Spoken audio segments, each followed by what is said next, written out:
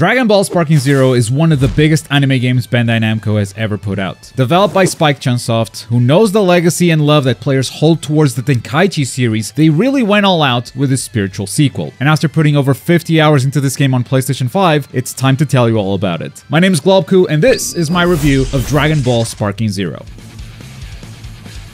When you first pick up the game, a lot of it will feel familiar if you've played the Tenkaichi series before. The combo structure is roughly the same, but what constitutes a true combo may have changed. A lot of the old defensive mechanics still exist, but you've got new ones to go with them, like this new combo breaker called Revenge Counter. The game will overall feel familiar, but modernized and with some new features. One of the big changes is to movement, and this is a downgrade in my opinion. You can still use super dashes to move around freely, as well as use the spark dash to get directly behind your opponent, but no longer are you able to just dash for free and cancel those dashes carrying your momentum. This used to be one of the big skill ceilings in Tenkaichi, and to me, one of the things that defined the series. Instead, this dash is now replaced by this short dash, which costs one bar of meter and works more like a quick dodge. That said, there is a new mechanic that can be used for approaching the opponent called Vanishing Assault, and depending on the distance, you may get in on your opponent's face or directly behind them. Your guard stance still exists, but it's now called Perception, and it's a context-sensitive effective counterattack that might simply block an opponent's move and quickly punish them, or deflect super attacks if you have enough skill points. Speaking of, skill points are here to replace the old blast stocks, and they're also used for some perception counters as well as the new combo breaker revenge counter, though sometimes it feels like it's not worth using them. For instance, you can stop a revenge counter which costs 2 skill points with a perception that also costs 2 skill points. If someone throws a beam at me, I can deflect it for 2 skill points, but why would I do that if I can also just dodge them for free in most situations. A lot of this feels like it's for style points alone, which is fine. Tenkaichi isn't meant to be taken seriously all the time. Sometimes you just want to be stylish. Other than that, it mostly works the same as Tenkaichi did. Every character has their own melee rush combos with different finishers. They have different ki blasts and charge ki blasts. Each character has two skills with various costs and effects, from healing your own character to performing an instant transmission that makes the opponent lose their lock on, or simply get some buffs for your character. They also have two blast supers each. These are your special moves that cost ki and deal a lot of damage, and one ultimate blast, which is your most devastating attack and can only be used after you enter sparking mode. Even without the ultimate, sparking mode does give you a lot of advantages, like making ki blasts bounce off of you and removing the cost for a lot of your abilities as well, like the dashes and the ki blasts. And you also get access to new combo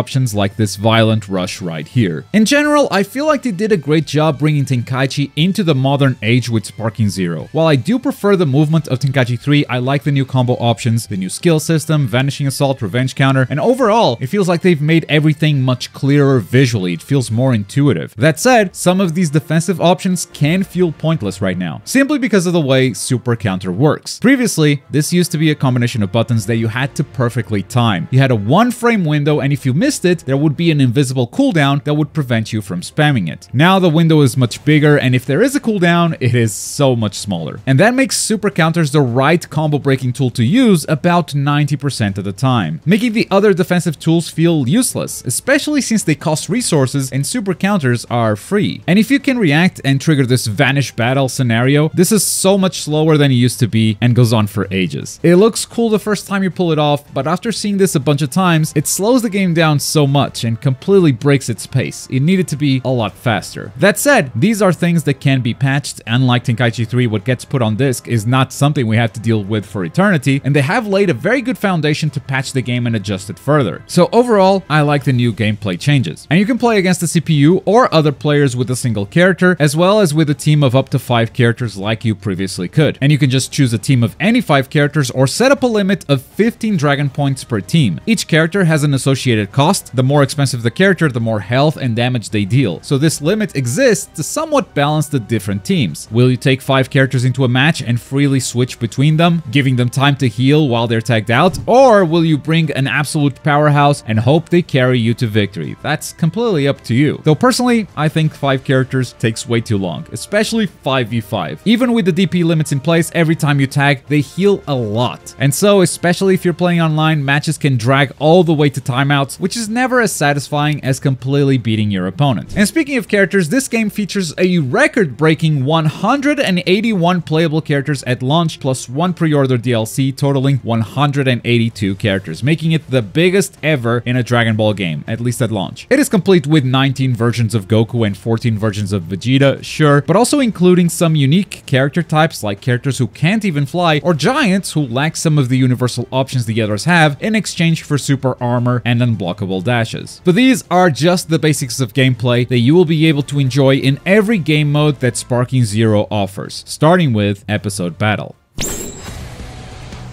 This is the story mode for Sparking Zero, and arguably, it's the weakest mode the game has. There are some things Sparking Zero does with its story that I think are just the best the series has ever had, but when it comes to visuals and cutting corners, it definitely has its flaws too. First of all, the story is told from the perspective of 8 different characters, so story mode will have different sizes depending on who you pick. The biggest story is naturally going to be Goku's, but in general, they all work in a similar way. Most of the story is told through slideshows and image stills, albeit voice acted, we've seen the Dragon Ball story retold in much better ways in the past. But also when it goes into actual cutscenes, the animation feels unnatural, like we're not looking at the same game here that gave us those gorgeous Ultimate Blast animations anymore. And this might be because during story mode, you can switch to first person view during a lot of cutscenes. Translating 2D animation into 3D is a tough challenge, but it's easier to do when you control the camera angle, which is what happens with all the blast animations. They have a fixed camera that has been crafted specifically for each animation. But if you give players the power to switch perspectives freely, now you no longer control the camera perspective fully, and this 3D animation suddenly doesn't feel like it belongs in the same game. Don't get me wrong, I think if you freeze and take a screenshot at any point, these models look incredible, but when they start moving, something just feels off. This mode covers the Dragon Ball story from the arrival of Raditz to the end of the Tournament of Power, so it covers a lot of arcs. It does skip the Tournament of Destroyers completely, pretending it didn't exist, but the story is told in a very abridged way. This was definitely built for Dragon Ball fans, and it's not a good story mode if you don't already know the events of the show. If you're looking for a game to play through the Dragon Ball story instead of watching the show, my recommendation is probably still Kakarot. Sparking Zero's story is closer to the abridged Tenkaichi 3 rather than the extensive Tenkaichi 2 story if you remember those games. But the battles are somehow not as dynamic as they were back in Tenkaichi 3. There are a few moments where the game will force a transformation or unlock a new move mid-battle, but frankly, those moments do not happen enough to make the whole thing feel as dynamic as it should. On top of it, as a Dragon Ball fan that has played this story countless times in many video games, I do appreciate the abridged nature of this mode, but it still feels like they cut some corners. For instance, Vegeta's story ends with Dragon Ball Z, it doesn't go into Super at all. Gohan's story starts on the Cell Saga, skipping the Saiyans and Namek. I thought I was gonna get a full Trunks experience here, but it's just Trunks from Dragon Ball Super, so no Z story at all. And honestly, Goku Black's is so awful, I actually recommend skipping. There is one thing that does make this whole game mode worth it, and that is the inclusion of what if stories. From time to time, you may have a dialogue option that will send you down a different path from what happened in Dragon Ball canon. Sometimes, instead of dialogue, you have to complete an optional battle objective, like defeating an opponent instead of simply surviving an encounter, or finishing a fight with a specific move. The game does a really good job of giving you a story overview and letting you know exactly where these splitting paths are, so you can always go back and check if you've missed any what if stories, which you should definitely do because these are the best what ifs in Tenkaichi history. They are really, really good. Most of them are just a single scene and are about defeating one of the big villains sooner than they actually did. It's alright, but others, simply by changing one small thing, send you down a different path that spans multiple sagas. It can go from the Saiyan saga into Namek or others that I'm not going to spoil here. They are way bigger than they ever were before and they do vary in quality, but I would say each character has at least one what if story that is definitely worth seeing, except for Goku Black. Even the what ifs are terrible there. These are the reason to play this game mode, and honestly, the one reason why you should not skip it, because the retelling of the canon story really wasn't up to the standards of the series or modern Dragon Ball games in general. Luckily, this game has a lot more to do outside of story mode, including more single player content in the custom battle game mode.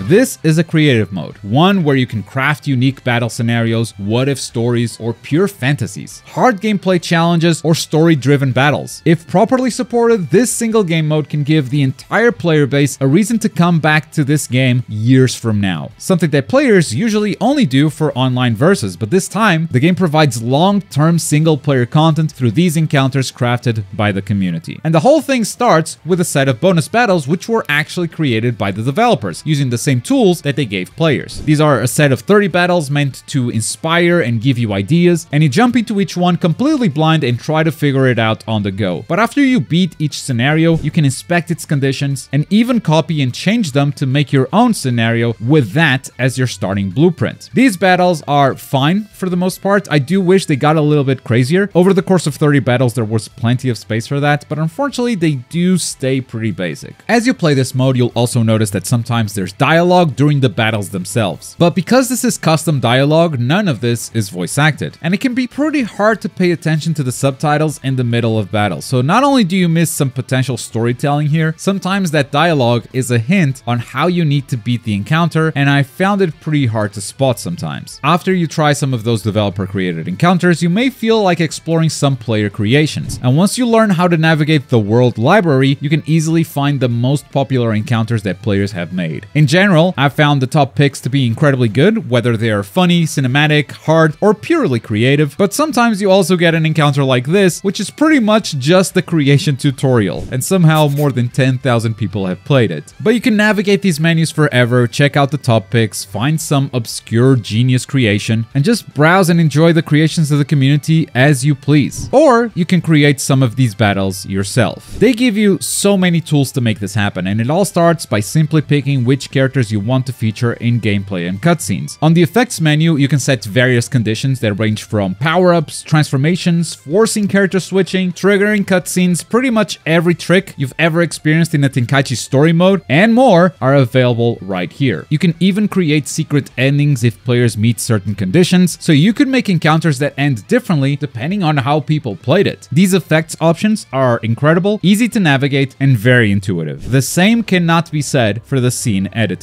This is where you make the game's cutscenes. After picking a cut, you can edit which characters are in it, what are their poses, and their dialogue. The dialogue is where everything falls apart. There are a lot of dialogue options you don't get to type, you get to pick from over 5,000 options they have, and every time you see a word highlighted in green, you can swap that word for another. So there are a lot of options, and that's really good. The problem is navigating these options. Something as simple as finding a character name can take way longer than you'd like because none of this is actually ordered alphabetically. And you can filter the sentences based on some presets they created, but it doesn't always make the job of finding what you're looking for much easier. Dialogue is incredibly hard to browse. It's by far the most time consuming part of this process, and it could be made a lot easier with two simple changes. One, making all these lists alphabetical, and two, adding a search feature. I understand why they simply won't let you type the text you want into these battles, the license holders would never approve that. But allowing players to search for a keyword and then displaying all the sentences that feature that word would save so much time and help creators make a lot more battles. Regardless, this is a very unique game mode and one that can keep this game active for a really long time. Sharing encounters is easy via a string of numbers, which makes it look like you could share this across different platforms, though unfortunately this game does not support crossplay. Not even for this game mode, which is unfortunate. With that said, let's look at the rawest Sparking Zero experience. Let's talk about versus matches and online.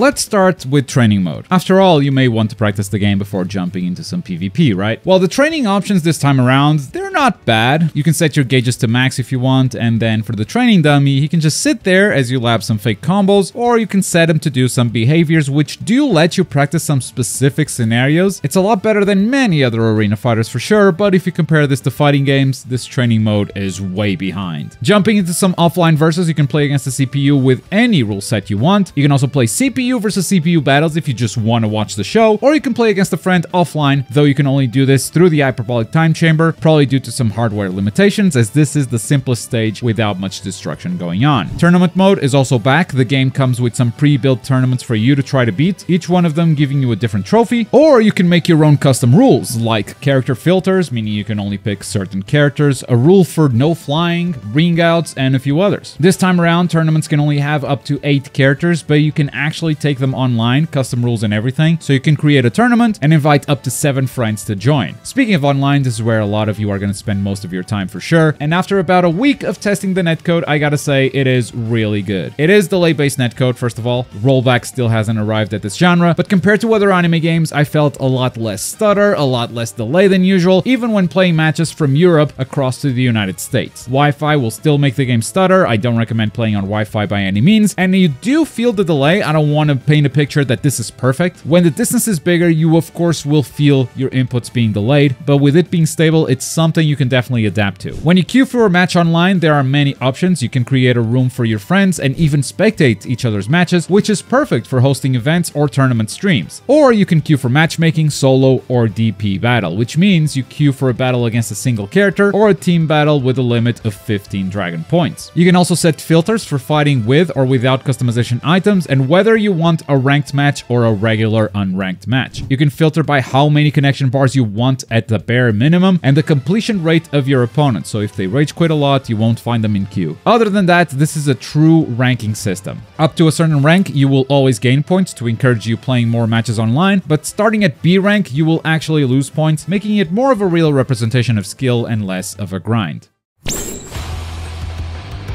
Throughout the entire game, you will find a couple of extra features that may or may not influence the other game modes. If you visit Zeno, for instance, you will find an extensive list of missions that can be as simple as playing with a character or triggering some specific dialogue. It's like everything you do in this game can complete a mission, which can reward you with Zeni, which is the in-game currency, or it can also reward you with new customization items for your characters and your player card. If you visit the shop, you will also see some cosmetics here, like character outfits, as well as the characters themselves, and even some capsules capsules for sale. The truth is, all of these characters could be unlocked for free by completing the right challenge. Some story missions unlock characters, specific tournaments do as well, even bonus battles do it. But instead of doing all that, if you got the Zeni, you can speed up that process by buying everything in the shop. And once you do complete the requirements for unlocking them, the game refunds you the money that you spent buying them. Similarly, the Dragon Balls feel a bit optional this time around. They also unlock things you can find in the shop more often than not, and that's a good thing. While some Dragon Balls are easy to find because you get them automatically from beating the story mode, for instance. Once those one-time rewards are gone, farming Dragon Balls is something you can only do by playing against the CPU. And sure, you can set it up so you defeat them quickly and get a lot of matches in a few minutes, but this process is pretty boring. We've briefly touched on customization, but like previous games, you can customize characters' outfits, and this time you can complete those outfits with some accessories. But outside some of the main cast, your options are very limited. Goku may have a ton of outfits, but don't expect everyone in the cast to receive the same treatment. In fact, a glaring omission in customization this time around is alternate color schemes. They're just not present. But you can customize way more than that. You can equip capsules, taunts, and even alter the character's behavior if they're being used by the CPU. Finally, we got the encyclopedia where you can read some details about every single playable character, as well as listen to Chi-Chi, Bulma, and Videl give their takes on each one of them as if they were chatting in a podcast. Look at the size of those biceps. Well, uh,